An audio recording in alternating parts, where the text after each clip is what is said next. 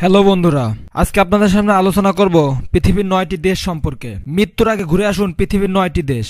আমাদের এই পৃথিবীটা আজও অনেক রহস্যে ঘেরা। আর ভরা তীব্র সৌন্দর্যে, এমনই রহস্যে ঘেরা পৃথিবীর সৌন্দর্য দেখতে কার না ইচ্ছা করে। ভেবে দেখুন, কবে কখন কীভাবে মারা যাবেন আপনি নিজেও জানেন না। তাই মৃত্যুর আগে দেখে নিন এই দারুণ সুন্দর পৃথিবীটা। আসুন, জানা যাক নয়টি দেশের তালিকা। যেখানে জীবনের একবার হলেও যাওয়া উচিত। আইনটি চ্যানেলের পক্ষ থেকে আপনাদের সবাইকে স্বাগতম। আবারও আপনাদের সামনে নতুন একটা ভিডিও নিয়ে হাজির হলাম। বড়া বড়া। বিশ্বের যে কয়েকটি স্থান পর্যটকদের হাতছানি দিয়ে ডাকে, সেগুলোর মধ্যে বড়া বড়া আইল্যান্ড অন্যতম। গ্রীষ্মকালীন ছুটি কাটাতে এর জুড়ি নেই। বিশেষ করে নবদম্পতিদের আনাগোনা এখানে সবচেয়ে বেশি। পর্যটকদের সর্বোচ্চ সুযোগ সুবিধা রয়েছে এই দ্বীপে। বরাবরা দ্বীপটির অবস্থান প্রশান্ত মহাসাগরে। এর আয়তন দুইশো কিলোমিটার, যা প্যাপেটার উত্তর, পশ্চিম এবং অন্তরিক্ষ বাদ বেষ্টিত। এই দ্বীপের মধ্যবর্তী স্থানে একটি মৃত অগ্নিগিরি রয়েছে। মাউন্ট পাহিয়া ও মাউন্ট ওটেম্যানু দ্বীপটির উচ্চতম স্থান, যেগুলো ভূমি থেকে সাতশো সাতাশ মিটার উচ্চতায় অবস্থিত। এই স্থানটি পর্যটকদের আকর্ষণের কেন্দ্রবিন্দুতে পরিণত হয়েছে, মূলত এর বিলাসবহুল রিসোর্টগুলোর জন্য। এখানকার উৎপাদনজাত দ্রব্যগুলো মূলত সমুদ্রকেন্দ্রিক, আর রয়েছে প্রচুর নারিকেল গাছ, যা অর্থনৈতিকভাবে দ্বীপটিকে সমৃদ্ধ করেছে। এক কথায় বলতে গেলে বড়া আইল্যান্ড পুরোপুরি পর্যটন নির্ভর।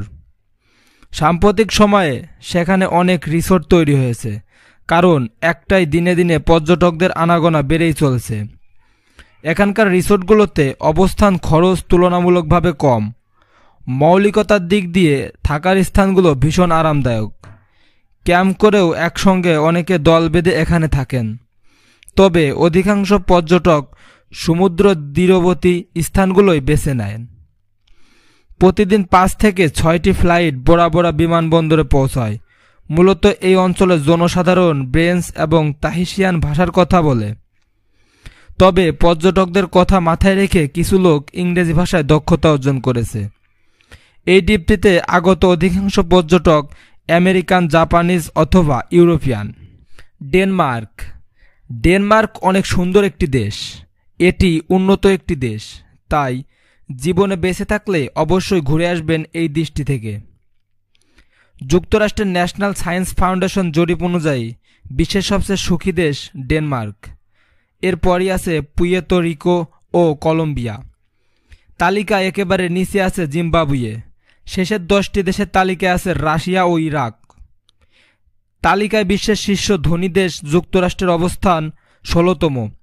এর আগে আছে সুইজারল্যান্ড, কানাডা ও সুইডেন। তাই ঘুরে আসুন বিশ্বের সবচেয়ে শান্তিপূর্ণ এই দেশটি।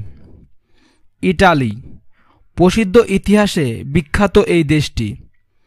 আমরা অনেকেই হয়তো চিনি, কিন্তু সময়ের অভাবে ঘুরে আসা হয়নি এই সুন্দর দেশটি।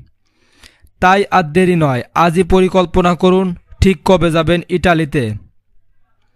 ইটালিতে রয়েছে সেই বিখ্যাত রোম শহর, ইতিহাস বিখ্যাত স্মৃতিসৌধ, ভ্রমণ আর চত্বর ছড়িয়ে ছিটিয়ে আছে রোমের অলিগলিতে। কালের সাক্ষী হয়ে দাঁড়িয়ে থাকে এত বেশি পুরাকীর্তি সম্ভবত আর কোনো শহরেই নেই। পুরাকীর্তির কথা বলতে গেলে প্রথমেই বলতে হয় দু হাজার বছরের পুরাতন রোমের কলোসিয়াম।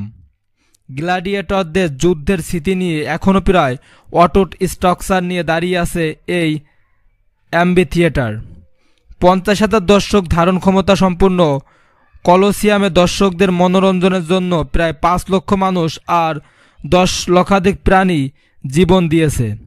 অমানবিক সেই ইতিহাস আজও লীন। হাজার হাজার পর্যটক প্রতিদিন এই কলোসিয়ামকে রোমানদের ঐতিহাসিক কীর্তি হিসাবেই দেখতে আসে। গ্রিসের শান্তরিনী গ্রিস ইতিহাসের একটি বিখ্যাত দেশ। অনেক ইতিহাসের কাহিনীর সাথে গ্রিসের বর্ণনা পাওয়া যায়। গ্রিসের শান্তরিনী এমনই একটি জায়গা যা নিজের চোখে না দেখলে বিশ্বাস হওয়ার নয়। পৃথিবীর বিখ্যাত পুরা কাহিনীর দেশ গ্রিস। প্রাচীন কল্পনার স্বপ্নভূমি। স্বতন্ত্র সংস্কৃতিতে সমৃদ্ধ ইউরোপের এই দ্বীপ মানুষকে মোহিত করেছে যুগে যুগে। প্রাচীন সভ্যতার সেই স্বর্ণযুগ এখন আর না থাকলেও তার রত্নরাজি ছড়িয়ে ছিটিয়ে রয়েছে দেশটি জুড়ে। আর আপনি তা সবচাইতে বেশি উপভোগ করতে পারবেন শান্তরণী দ্বীপে গিয়ে। অগ্নিগিরি থেকে উৎপত্তি হয়েছে গ্রিসের এই দ্বীপটি। এর আনুষ্ঠানিক নাম আসলে থেরা অথবা থিরা। কিন্তু সাধারণত একে শান্তরণী বলে ডাকা হয়। এর পূর্বে এই দ্বীপটির নাম ছিল ক্যালিস্টে এবং টঙ্গাইলে। গ্রিসের মূল ভূখণ্ড থেকে প্রায় দুইশো কিলোমিটার দক্ষিণ পূর্বে অবস্থিত ছোট্ট এই দ্বীপে রয়েছে নতুন পুরনো ধাসের বেশ কিছু গ্রাম।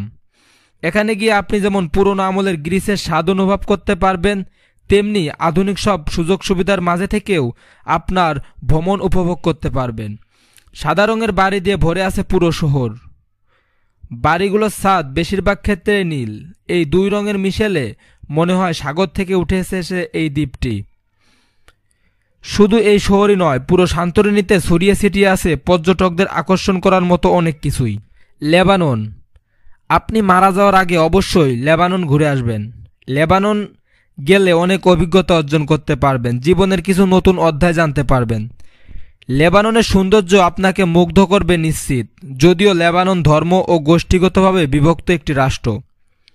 এখানে খ্রিস্টান, সুন্নি, মুসলমান ও শিয়া মুসলমানেরা একত্রে বসবাস করেন। লন্ডন অনেক মানুষেরই স্বপ্নের শহর বলা যায়।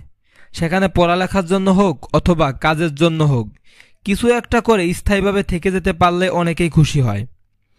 আবার অনেকে শুধু লন্ডন ঘুরে দেখে আসারও ইচ্ছা রাখেন। মহানগরী লন্ডনের আনাসে কানাসে উপকণ্ঠে ছড়িয়ে ছিটিয়ে আছে অসংখ্য দর্শনীয় স্থান। রকমারি সংগ্রহশালা, প্রদর্শনী, ঐতিহাসিক ও নান্দনিক ভবন স্থাপত্য।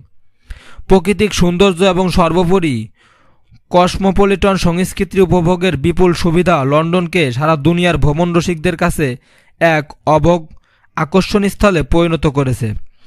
লন্ডনের দর্শনীয় স্থানের অনেকগুলো নিজ গুণে এবং প্রচারে যন্ত্রের বদলতে সারা বিশ্বের মানুষের কাছে অতি সুপরিচিত।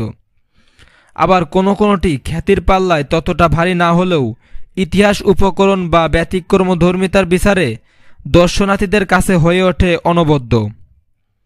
হাওয়াই। প্রশান্ত মহাসাগরের মাঝখানে অবস্থিত হাওয়াই দ্বীপপুঞ্জে আছে অনেক দ্বীপ। তার মধ্যে প্রধান হল হাওয়াই, যা বিগ আইল্যান্ড নামে পরিচিত। মাওয়াই, হুয়াও, কাওয়াও ছাড়াও আছে লানাই, মলকাই, নিউ ইয়াও এরকম অনেক ছোট ছোট দ্বীপ। হাওয়াই প্রদেশের রাজধানী হনলুলু একটি আধুনিক শহর, যা হুয়াও দ্বীপে অবস্থিত।